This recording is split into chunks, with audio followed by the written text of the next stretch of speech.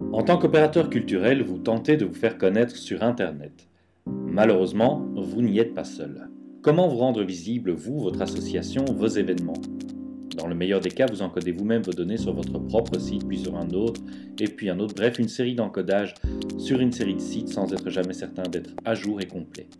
Cela représente beaucoup de temps et énormément d'énergie. Un encodage pour une diffusion n'est pas une bonne solution. Imaginez un encodage pour une infinité de diffusions. Vous imaginez Plurio.net. Plurio est le réseau ouvert et public de collection et de diffusion de tous les contenus culturels de la grande région. Des milliers d'opérateurs envoient d'ores et déjà leurs informations vers Plurio. Pour ce faire, une simple connexion Internet suffit. Une modification de vos données enregistrées est toujours possible.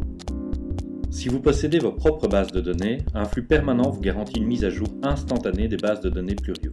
Plurio est donc une base de données des événements culturels, exhaustive, actualisée, libre et ouverte, le meilleur moyen de connecter opérateurs et diffuseurs d'informations culturelles.